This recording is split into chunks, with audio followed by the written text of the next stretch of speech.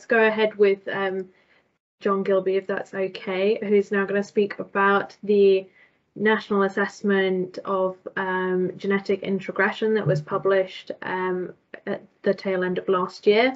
And John, for those of you who don't know, is a genetic analyst at Marine Scotland Freshwater Fisheries Laboratory and uh, has a, a, general interest in genetics and genomics um, of salmonid and other fish species. So I'll hand over to you, John. Thank you very much. Thank you very much, Charlotte. Uh, morning, everyone.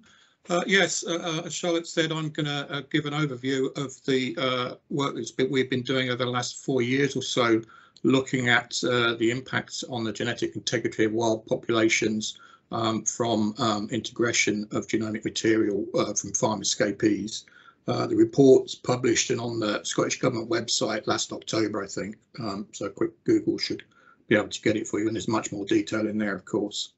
Um, bit of background, um, fish escape, we know they breed with uh, wild fish, uh, we know that, they hybridize, uh, and this introduces genomic material from the farm fish into the wild populations.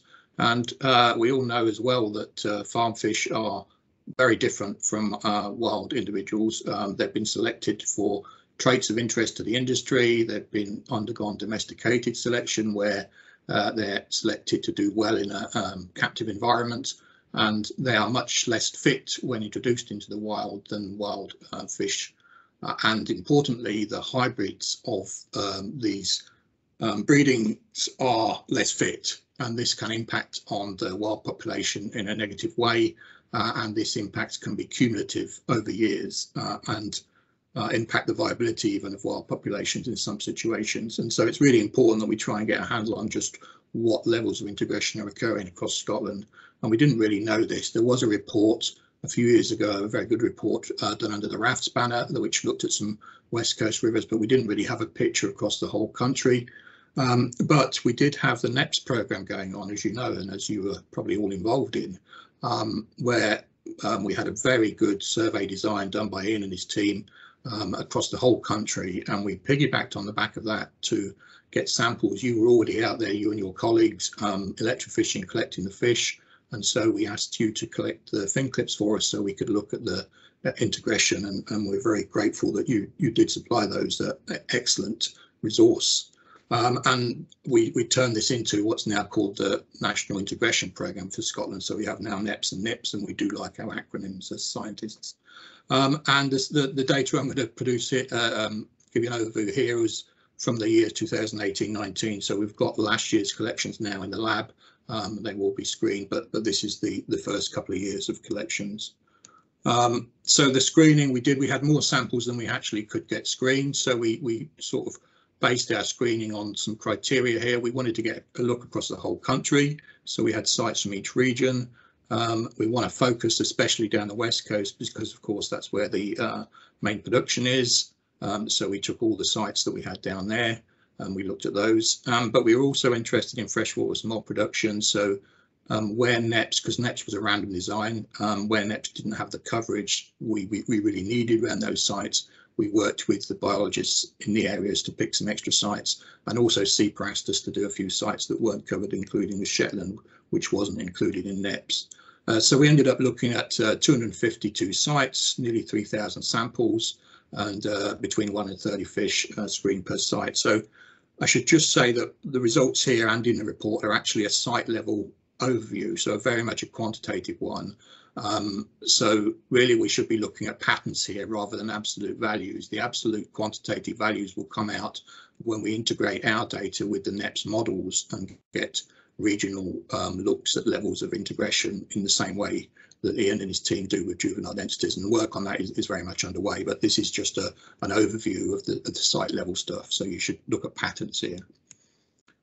I won't go into too much details of the techniques. Really, we followed what was being done over Norway very closely over the last few years because they've already got a program of, of monitoring in place. But we did create our own set of genetic markers, which were uh, good at separating Norwegian origin farm fish and Scottish wild fish, because of course Norwegian origin farm is, is by far the largest production in, in Scotland.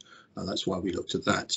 Um, but they weren't affected by the, the genetic, phylogenetic um, structure that which we have in Scotland anyway. So we, we wanted to use the whole set across the country. It was good at farm wild differentiation, but not affected by the structure of the stuff we had.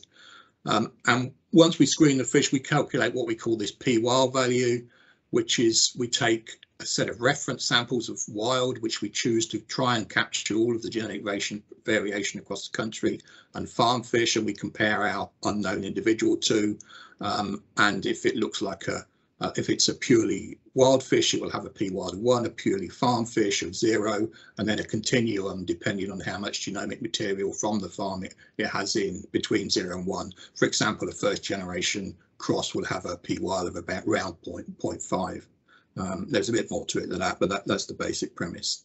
And then we classified our sites based on uh, traffic light system, the same as that used in Norway, um, to allow direct comparisons.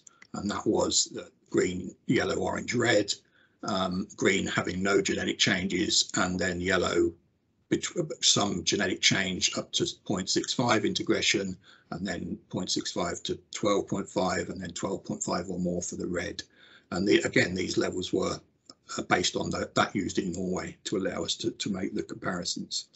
Um, so on to the results now. Um, here's the map of the results in the traffic lights. Just to say this is the two maps are the same. Um, we realise that the red green is not the best for those that are colourblind. So hopefully the smaller version and there's a, the full version in the report should be better for that. But if we just look at the picture across the country, I think it's quite clear integration is occurring and it is occurring in areas where there are uh, aquaculture production, either marine or freshwater. Um, when I had this data in the spreadsheet, I could see that there was some integration going on, but when I first plotted it on the map, I was quite well staggered actually about just how close the relationship was between where the integration is happening and where the production is. I mean, it really does stick really tightly to the areas. And you can see I've used the dotted lines to sort of um, divide up the country a bit and I'll just look at that in a bit more detail here. We can see the areas where there is significant marine uh, aquaculture production, uh, West Coast, Hebrides, Shetland, we do see integration occurring. Um, uh, I think on the West Coast, you could say perhaps where there's the highest aquaculture in the central area, there's probably most of the red so they're perhaps the biggest impact, but that's just me looking at it That's certainly a, uh, not um, statistically valid yet. That will come out when we do um, the modelling approaches with Ian, but certainly where there's production there, there's uh, impacts, but it is a um, patchwork. So you do get the red next to the green, next to the orange, etc., um, which I'll come back to later, um, and the same really in the Hebrides and production and impacts. Uh, if we go on to look at the other two areas, uh, the north and the east, uh, really little down the east coast, um, uh, very little actually, which you might expect. There's no production there and uh, no marine production and little impacts. The only two really areas where there's significant impacts is where we have freshwater smolt rearing. So there's two areas we have freshwater smolt rearing on the Shin and the Ness on the east coast, and in both those systems, they're the only ones we really see any significant integration occurring. And we've done some work on the Shin previously where we, we know there are escapees in the system there and um, they're obviously breeding. Um, the only other point is the, the two yellow ones in the central there on the upper Tay, and that's on the Errochty, um, excuse my pronunciation. Um, which is a, an unusual one, not expected really, considering the rest of the East Coast. Um, there could be a number, number of reasons why those come out yellow. I cannot rule out that, that a farm fish got up there. I mean, they have been observed in the rivers and spawned. Um, but what I think is more likely is that that's a, a, very genetically distinct population up the top of the Tay for a number of reasons. Firstly, um, it was one of the last ones to be recolonized after the glaciation, and my colleague Eef Cauwelier uh, published a nice paper recently that showed that, um, which means it's probably genetically distinct from some of the other rivers, but also it's had anthropogenic impacts. There's a hydro on the system, and there's also stocking included at one of their sites there. And when I look at the data, they're just significantly a, a, across the line from being green. So I think what's occurring there is that we tried to capture all of the genetic variation in our reference samples, but the most extreme genetic, natural genetic variation we have in the country, we didn't quite capture enough to, to say. But but I can't rule anything else there, but we're looking into that in more detail anyway. Um, and then the southwest, I think this was probably the most most surprising uh, for me um, outcome that we didn't find anything in the southwest area there, even though it's quite close to some of the high production areas. Um, don't really know why. We can speculate why. Um, there is a big, obviously, the, the current that flows northward. So if, if there are any escapes, perhaps the fish more move north or going to the areas closest to the escapes and don't make it south too much. Although, of course, fish have been escapees have been seen in the in the southwest rivers. Um, there does seem to be evidence that it's things like the health of the population, the size of a wild population, the size of the rivers, may um, impact the integration. Um, if you've got a healthy wild population in a big river, the impact is going to be less than a small population in a small river. Um, maybe the water chemistry there, they don't like it, but uh, yeah, but whatever the case, we, we didn't see any there. Um, we'll, we're trying to understand better what, what, what causes these patterns. Um, and just just to put things in context a bit, this is our map on the left and this is the Norwegian from their latest report, the same color coding and the same um, um, levels of classification. And the, the bigger map is the integration and the smaller insert is their aquaculture production uh, locations. And you can see the picture is very similar actually, although obviously the Norwegian situation is much is worse than ours. There's much more red and, and much less green. Um, but we still we do get this patchwork even even in Norway, even in some of the areas like the big fjords, the Hardanger fjord and uh, the, the Sogne fjord, which is probably the most dense aquaculture production in the whole world. There's a lot of red there, but there's also green there in amongst all of that. And so we do see this patchwork again um, in the same way we do in Scotland. And it, it's something we, we both us and the Norwegians are trying to understand more about what causes some sites to be uh, impacted and some not. Um, so, so yeah, that's the overview of, of where we are and and and a comparison with Norway. And just to, to finish on some some future research directions of what we're doing at the moment and what we're thinking of doing in the future. So we're we're obviously with all techniques, this was the first go at it that we've done, and we've got some development to do. Um, won't go into details here. Um, but this second one is, is very important, the quantitative analysis. So as I said, that was just a site level overview. Um, but what we really want to do is, is to utilise the power of the NEPS modelling approach to in incorporate our data into that and get these regional um, quantitative estimates of integration. And, and, Ian and I and others and, and our statisticians at Marine Scotland have been well on the way to, to getting this done. Um, but of course, once we measure integration um, and, and continue to measure it to see what the temporal patterns are, etc. The question then becomes, okay, we have integration. What does that mean to the wild populations? You know, um, what does that mean to growth, age, smolt age, um, sea age, ability to migrate, etc. All of these things which have been shown in, in other studies to be impacted by this hybridization integration what does that mean in Scotland? Because some of the other studies, or all of the other studies, haven't been done in our situation. You know, it's it's mostly been Norwegian origin farm fish against Norwegian wild fish. You know, in Scotland we've got Norwegian origin with Scottish wild. So how does that impact these things? Does it make it worse or better? Or well, we don't know at the moment.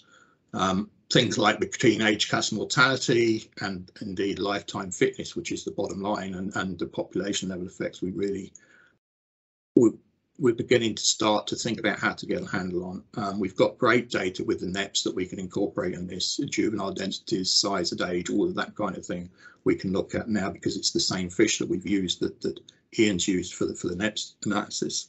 And so we can use that. And we're also thinking about some perhaps bespoke um, monitoring on some sites that may be able to pull out some of these important uh, phenotypic and population level impacts. Uh, and once we've got that, and it's probably a couple of steps down the line. It's certainly not where we're at now, but what we would like to do is to say, okay, you see this patchwork, why? What what creates, what makes a site more liable to be impacted than another one? And obviously, density of, of aquaculture in an area is, is the main determinant, but what about within that area? Um, things like um, the size of the river, the size of the wild population, um, where the river is in relation to open water, i.e. how far up the lock or the fjord is, is, seems to be important for that. And once we try and get a handle on that, we, we want to be able to, it would be nice to be able to model it and say, okay, you know, if you put a site here or if you had production density of this in this area, then this would be the impact. And if you moved it here, you might lessen the impact, that kind of thing. Try and inform this this um, knowledge base um, uh, management that we heard about yesterday as part of the salmon strategy. Uh, and of course, we have the NIPS program now going forward as part of that salmon strategy and discussions underway now about just what that's going to look like, i.e. how many, um, what's the gap in years, how many, once every every year, every three years or whatever, what, what the survey is going to look like going forward is now part of the discussions on the implementation strategy of that salmon strategy. Um, I think that's me. I'll finish there. Thank you.